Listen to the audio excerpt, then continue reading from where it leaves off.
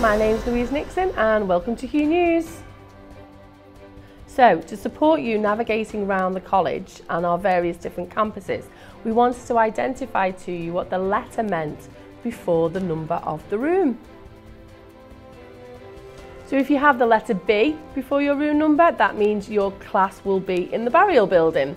If it is an S, that means your room is based in the lifestyles building. If the room has a T, an A or a W in front of it, that means your lesson will be in our Port Academy building. If there is an L in front of it, that means you're over in the University Centre.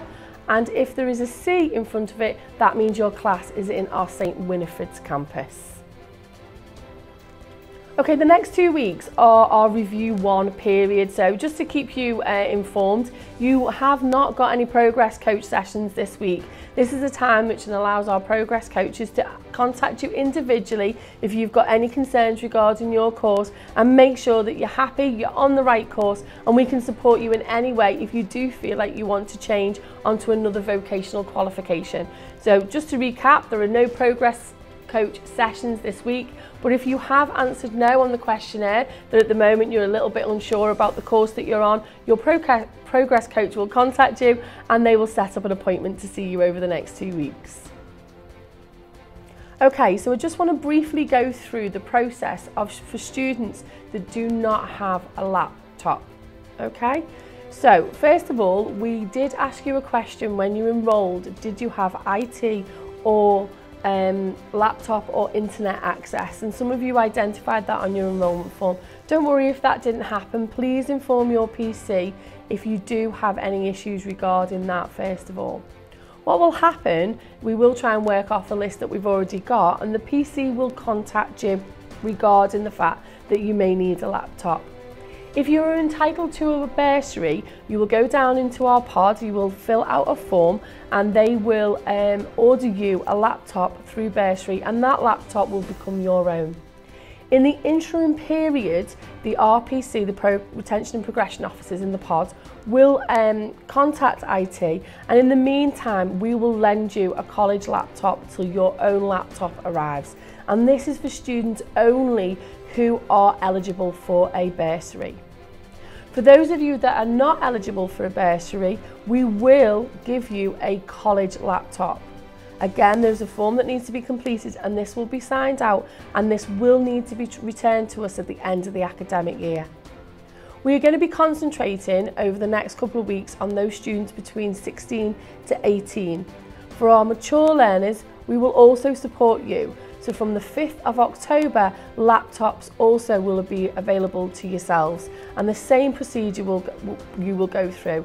If you let your PC know, they will arrange with you to go down to retention and progression offices if you're eligible for some form of bursary. If not, the college will lend you a laptop, but it will need to be returned at the end of the academic year. If you have any worries, any concerns regarding laptop or internet access, please speak to your staff. We are here to support you with that and at no point should this be any barrier to your learning. We've had a really good response from you as students who are interested in being our FE student governor. Um, so we will now be in contact with you, so thank you very much for showing your interest and you'll be invited to a Microsoft Teams session. This is being held either on Monday the 28th at 2 o'clock or Thursday the 1st of October at 11 o'clock. If I invite you into that Monday session and Thursday works better for you or vice versa, please just let, send me an email and I can swap you in. So in those sessions, we're going to inform you about what is required to be a student governor and our Director of Governance, Anne-Marie Nixon, will also have a chat with you and enables you to ask any questions you want uh, before we move forward in the process of finding our new FE student governor. So linking in with Student Governor, we now need to bring together our student voice. Student voice is a really important part of Hugh College and it's a great opportunity for you to be involved and change the horizon of the college in which you study. So what I'm looking for once again is your show of interest. What it means by being part of our student voice is we ask each learner from each division, so for example, hairdressing, motor vehicle, learning for life, Thornton, South Sefton, 14 to 16, Year 10 and Year 11, We would like a representative from each one of those areas. What happens is we come together as a collective, we discuss things that are happening across the college, you raise any concerns with myself, and it also enables you to sit in front of the principal once a term. So from Monday on social media on my day will enable you to show interest in being a divisional rep.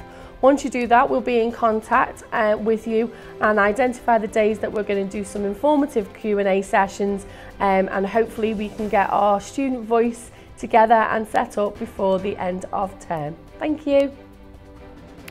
So thank you very much. I have asked over the last two weeks of Hugh News for you to let me know what you're doing either at home or in college. And as I keep saying to you, that's really, really important. This is your news, not mine.